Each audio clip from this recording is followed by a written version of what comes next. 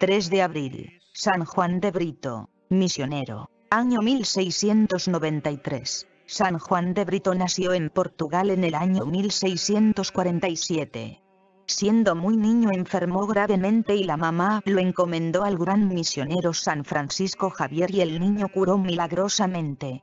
En recuerdo de este notable gran favor, toda la vida deseó ser un fiel imitador de San Francisco Javier. A la edad de 15 años pidió ser admitido en la comunidad de los padres jesuitas. Sus familiares se le oponían fuertemente porque eran ricos y muy amitos de los más altos empleados del reino y esperaban para Juan muy honrosos puestos oficiales. Pero el joven insistió fuertemente y al fin consiguió el permiso de hacerse religioso jesuita. En los estudios del seminario brilló por su gran inteligencia y por su dedicación total a la preparación para el sacerdocio.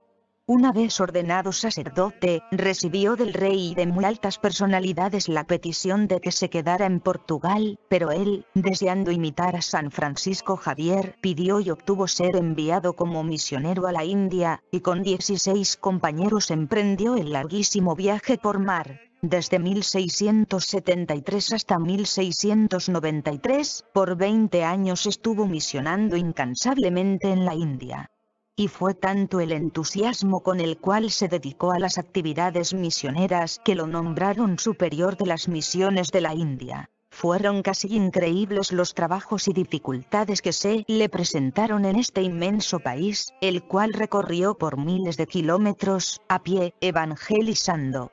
Sus compañeros dejaron escritos en sus cartas datos muy impresionantes acerca de los sacrificios tan intensos que el gran misionero tuvo que padecer pero el número de conversiones que consiguió fue también sumamente numeroso consolador. Desde el principio el padre Juan de Brito se dio cuenta de que para poder ganarse mejor la voluntad de esas gentes y lograr más conversiones, era necesario adaptarse totalmente al modo de vestir, de comer y de comportarse de ese país.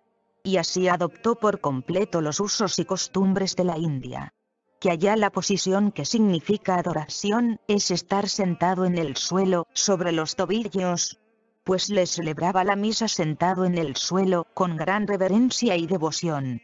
Que los hindúes no comían carne, pues él no volvió a probarla. Un boletín informativo de ese entonces dejó esta constancia. Al adaptarse tan sumamente bien a las costumbres del país, logró ganarse la simpatía de todas las clases sociales, y obtuvo notables éxitos espirituales en toda clase de personas. Los escritos de ese tiempo narran cómo era el comportamiento de este misionero. Dicen así, todo lo que era caballerosidad y generosidad, trataba de cumplirlo. Su salud era sumamente débil y las fiebres palúdicas lo atacaban muy frecuentemente y lo llevaban a las puertas de la muerte, pero él seguía trabajando como si no estuviera sufriendo. Los sacerdotes de las religiones de estas tierras eran muy fanáticos y atacaban sin piedad al pobre de Brito y a sus cristianos. Muchas veces lo echaron a la cárcel y le hicieron padecer feroces torturas. Jesús es clavado en la cruz una vez, lo colgaron de los brazos en un árbol, y otra lo echaron a un hondo pozo para ver si se ahogaba. Pero después de que lo atormentaban el padre Brito se restablecía de manera que parecía casi un milagro. Volvió a Europa a conseguir ayudas para sus misiones, y aunque el gobierno y muchos amigos le aconsejaban que se quedara en Portugal en honrosos cargos, él dispuso volver a la India, a imitar a su santo patrono San Francisco Javier, que gastó su vida y sus energías en obtener que los habitantes de la India se convirtieran al cristianismo y resultó que convirtió al cristianismo a un jefe hindú que tenía varias mujeres y este se propuso no tener en adelante sino una sola esposa, como lo manda nuestra santa religión. Y entonces una de las antiguas concubinas de aquel hombre, se propuso vengarse del santo misionero y le inventó graves calumnias y obtuvo que fuera condenado a muerte. Lo llevaron a la cárcel y desde allí escribió a sus superiores en Roma. Con alegría y gran esperanza espero la muerte. Mi gran deseo ha sido siempre morir mártir por Cristo Jesús. Morir mártir es la recompensa más preciada por los trabajos que he logrado hacer por la evangelización. Morir mártir es lo que le he pedido muchas veces a Dios en mis oraciones.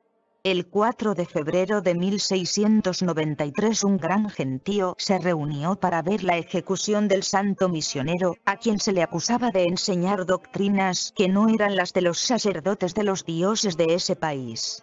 El gobernador estuvo varias horas demorando la sentencia porque sentía miedo de ordenar semejante crimen pero al fin movido por los fanáticos enemigos del cristianismo mandó que le cortaran la cabeza. Al saber la noticia, el rey de Portugal mandó celebrar solemnísimas honras fúnebres en honor del santo mártir, y a esas ceremonias asistió la mamá del gran misionero, pero no vestida de luto, sino con sus mejores adornos de fiesta, porque estaba convencida de que su hijo se había ido a recibir en el cielo la corona de gloria preparada para los que en la tierra se declaran amigos de Cristo hasta la muerte. San Juan Brito, te suplicamos por todos los misioneros del mundo y por todos los países que todavía no conocen a Cristo, para que muy pronto acepten la verdadera y más santa religión que es la católica, apostólica romana.